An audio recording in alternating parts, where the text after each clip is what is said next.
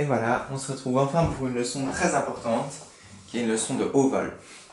Du coup, multiplier les décimaux. On avait déjà appris un peu la semaine dernière, mais cette fois-ci on va faire la difficulté au-dessus. Bien sûr, vous vous en doutez. Multiplier deux nombres décimaux entre eux. Par exemple, 1,5 fois 3,25, ou je sais pas moi, 750,355 fois 1,2, des choses comme ça. Voilà. C'est vraiment le plus haut niveau qu'on pourra faire avec les multiplications de décimaux euh, bah, cette année et même l'année prochaine. Hein. Voilà. Alors, on va juste faire un petit rappel de comment multiplier des décimaux déjà avec un décimal. Du coup, par exemple, j'ai 17 17 et 35 euh, centièmes fois 3. On souligne bien. Hein. On pose sans faire attention à la virgule. C'est-à-dire, voilà. On ne met pas, euh, par exemple, 17 là parce qu'on dit on respecte la, règle de la virgule et on fait non. On, on, pose sans faire attention à la virgule. Et ensuite, on calcule sans faire attention à la virgule également. 3 fois 5, 15. 3 fois 3, 9 plus 1, 10. 3 fois 7, 21 plus 1, 22. 3 fois 1, 3 plus 1, 5. Je vous rappelle qu'on calcule toujours comme ça. Et qu'on met, euh, quand on, passe au-dessus de la dizaine, ben on met par exemple une dizaine en retenue, deux dizaines en retenue si on a 23, etc. Du coup, ça nous donne ça. On enlève tout ça, on n'en a plus besoin. Et où placer la virgule? On a dit qu'il faut regarder combien on a de nombres à droite de la virgule. On a notre virgule là. Combien de nombres on a à droite? 1, 2. Du coup, on va placer la virgule de, droite, de la droite vers la gauche de deux rangs. 1, 2. Ok? Si on avait 5, 3 nombres, bah on déplacerait la virgule de 3 rangs de la droite vers la gauche. 1, 2, 3. 1, 2, 3. Ok? C'est bon, on est bon. Et il me faut mon effaceur. on va dire que c'est un effaceur. Maintenant, on va attaquer vraiment ce qui est euh, bah, la difficulté au-dessus. Vous êtes prêts? Alors, on va multiplier 2 et 75 centièmes par 7 et 2 dixièmes. Alors, on va commencer par poser sans faire attention aux virgules, c'est-à-dire sans respecter comme s'il n'y avait pas de virgule. On ne respecte pas la règle de la tour des virgules.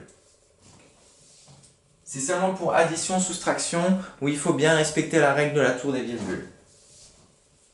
2 et 75 centièmes. Et là, on pose comme si on avait 72, du coup, c'est virgule. Du coup, Étape 1, poser. Euh, comme si c'était des nombres sans, euh, comme si c'était des nombres, des nombres normaux sans virgule. Euh, sans faire attention à la virgule. Sans faire attention.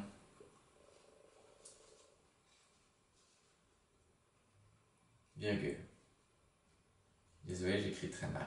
Ensuite, 2, vous allez vous en douter, on va calculer toujours sans faire attention à la virgule. Ok? Calcul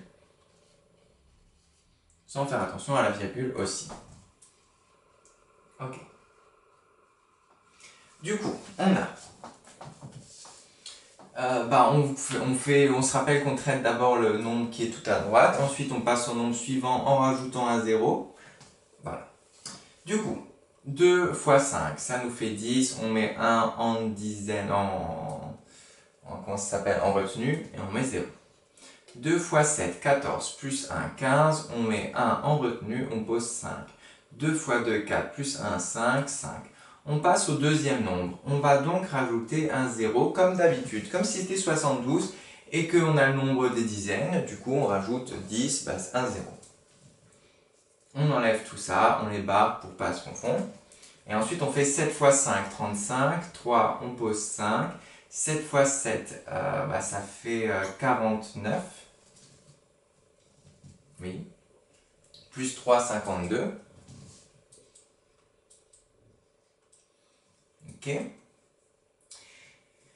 Et 7 fois 2, 14, plus 5, ça nous fait 19. Ok. Juste vérifier parce que, vous savez, des fois on peut toujours se tromper, mais je pense que c'est... Bah, je vais pas vérifier parce que je trouve plus mon téléphone. Ah si, c'est bon. Voilà. Et coup, bah, je après. Et on va donc faire toujours comme si on n'avait pas de, virgule. On va additionner tout ça. Ok? Du coup, on a donc 0 plus 0, ça fait 0. 5 plus 5, ça fait 10, on met 1, du coup, en retenue, on met 0. 5 plus 2 plus 1, ça fait 8. 9 plus 0, ça fait 9. Et 1, ça fait... Voilà. Ok. Et maintenant, comment faire Comment savoir 3, placer la virgule?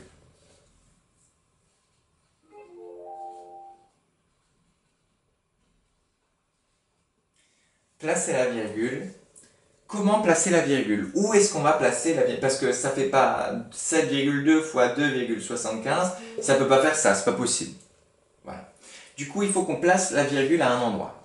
Et eh bah, on va regarder sur chaque décimale combien est-ce qu'il y a de nombres à droite de la virgule? Sur chaque décimale, on va regarder combien il y a de nombres derrière la virgule, sur chaque nombre décimal. Alors, ici le premier, on a combien? 1, 2. Ok. Le deuxième, on a combien? 1. Du coup, on en a 2 et 1. Et on va les additionner. Du coup, on en a 2 ici, 1 là, ça nous en fait du coup combien de nombres après la virgule? 3. Et on va déplacer du coup notre virgule de la droite vers la gauche de 3 rangs. Voilà. Du coup, on a un rang, deux rangs, trois rangs. Hop là. Et on est bon.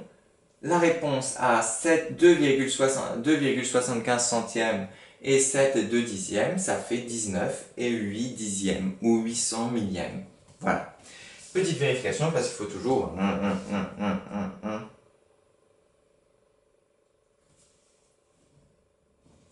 Alors, on vérifie.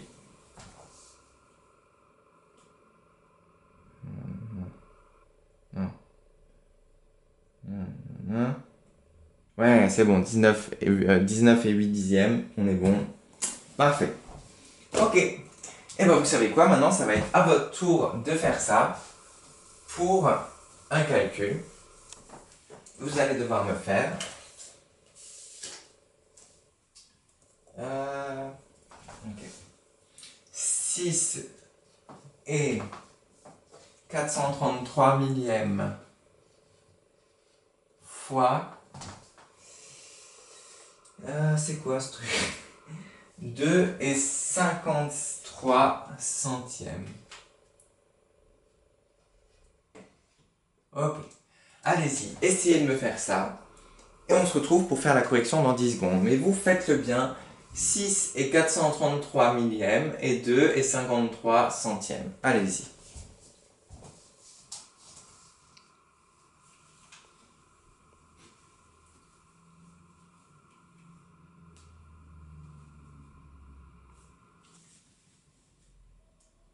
Ok, on est bon? C'est parti. Grenos Couli, vous êtes prêts? Du coup, on va poser comme d'habitude sans faire attention à la virgule.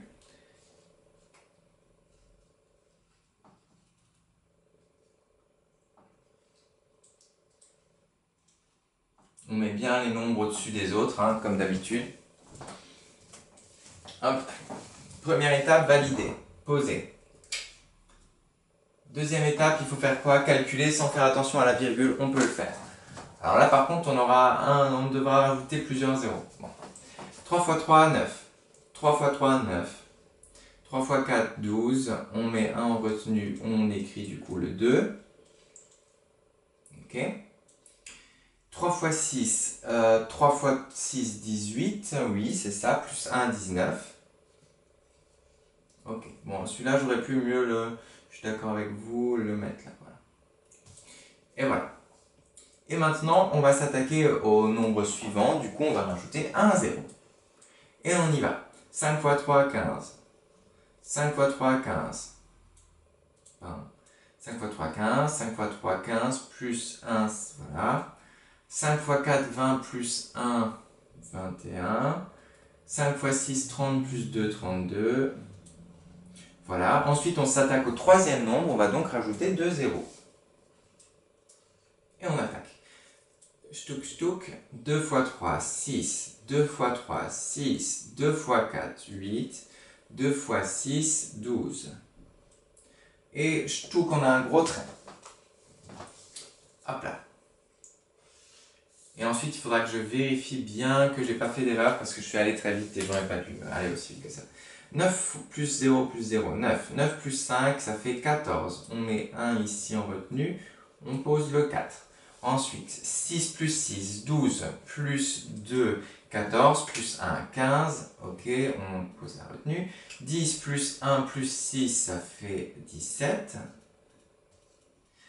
2 plus 2, 4 plus 8, 12. 2 plus 3, 5 plus 6, ça fait 1. Ok. Euh, voilà. J'espère que je ne me suis pas trompé. On regarde sur chaque euh, nombre euh, décimal combien il y a de chiffres à, à droite de la virgule. C'est parti. Sur le premier, il y a 1, 2, 3. Sur le deuxième, il y a 1, 2. Du coup, on va les additionner.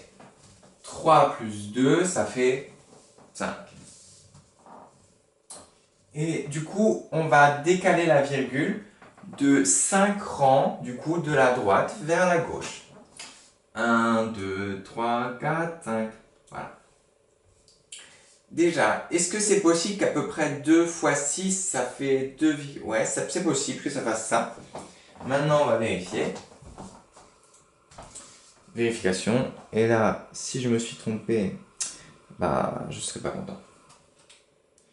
6 et 433 millième fois 2 et 53. Ah. J'ai peur. C'est bon, on est bon. Magnifique. Et voilà, on est parti. Bah, vous savez quoi? Je, Du coup, très bien, on a déjà fait ça. Je reviens à une prochaine vidéo pour vous montrer la leçon. Et ensuite, je vous mets des exercices. Et puis voilà, on aura fini notre matinée qui était déjà pas mal. A tout de suite.